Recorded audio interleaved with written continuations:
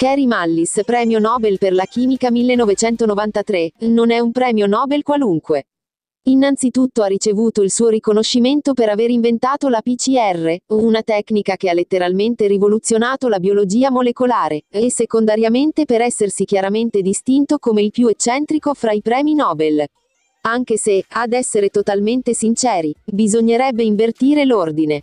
Nonostante l'incredibile portata della sua scoperta, Kerry Mallis si distingue sostanzialmente per il suo indomito anticonformismo, dote capace di farlo cacciare da quasi tutti i congressi scientifici, impresa non facile per chi ha avuto tanto successo nella carriera. Il libro si costruisce nel pieno stile Mallis. 23 capitoli di pura aneddotica, raccontanti fatti della vita dell'autore, a cominciare dall'invenzione della PCR per terminare con Chicken Little. Capitoli totalmente sconnessi fra loro, il suo unico elemento comune è l'approccio critico e sarcastico dell'autore. Ci si perde così nei meandri della vita passata dell'eccentrico premiato, con dettagliate descrizioni degli usi e degli abusi di sostanze psicoattive, che Mallis sintetizzava nel garage di casa, passando per una lunga digressione su quando l'autore sarebbe stato rapito dagli alieni apparsi in forma di procione parlante luminoso. Si rimane dunque sorpresi quando, in mezzo a tutto questo, si trovano diluite serie e ben costruite critiche ad alcune delle ossessioni socio-scientifiche di questo nuovo millennio, cosa che ci aspetterebbe naturalmente da un premio Nobel. Attacchi ben costruiti sono portati all'allarmismo per l'effetto serra e a quello per il buco nell'ozono, questo è la testimonianza di Kerry. Puntai la torcia, notando solo che la cosa appariva più bianca nel punto in cui veniva colpita dal raggio di luce. Sembrava un procione. Più tardi, mi chiesi se non si fosse trattato di un ologramma, proiettato da Dio sa dove. Il procione mi rivolse la parola. Buonasera dottore, mi disse. Gli risposi non ricordo esattamente cosa. Forse salve. La cosa successiva che mi ricordo è che era mattina presto, e stavo camminando su una strada che saliva da casa mia. Quello che pensai mentre tornavo verso casa fu cosa diavolo sto facendo qui. Non avevo alcun ricordo della notte precedente. Pensai che forse ero svenuto e avevo trascorso la notte all'aperto. Ma le notti estive, a Mendocino, sono umide, mentre i miei vestiti erano asciutti e perfettamente puliti. Nella capanna le luci erano fioche. Mi affrettai a spegnere l'interruttore. A molte miglia dalla Pacific Gas and Electric, disponevo dei miei pannelli solari e di un paio di batterie, una sistemazione adeguata ma non lussuosa. Dovevo sempre fare attenzione alla luce. I sacchetti erano ancora sul pavimento e cominciai a mettere a posto la spesa. La spremuta di arancia comprata al Safeway di Ellsburg non era più ghiacciata. Pian piano gli avvenimenti della notte precedente cominciavano a tornarmi alla memoria.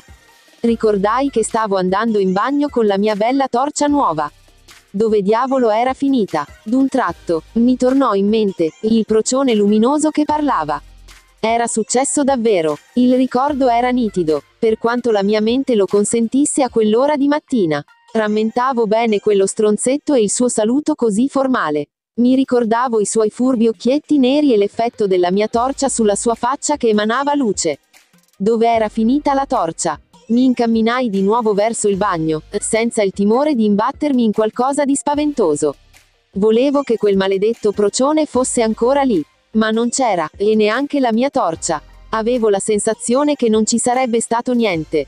Che mi sarei sentito svuotato, frustrato e confuso. Era proprio così che mi sentivo. Mallis mette giustamente in risalto il fatto che esse sono mere correlazioni, in quanto nessuna prova scientifica è producibile per effetti su così larga scala.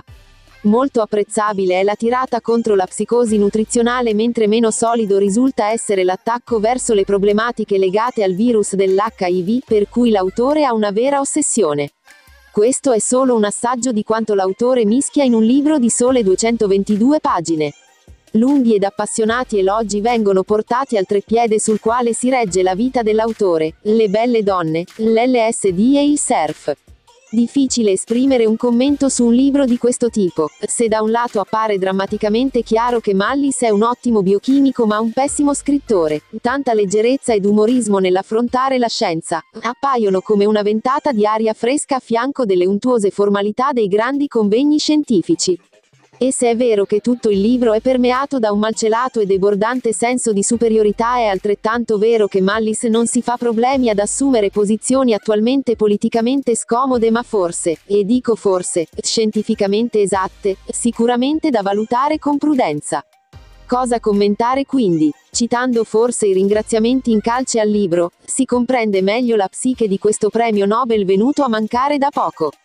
E quindi desidero ringraziare i membri del Comitato Nobel per aver fatto la cosa giusta assegnandomi il riconoscimento quando potevo ancora godermelo.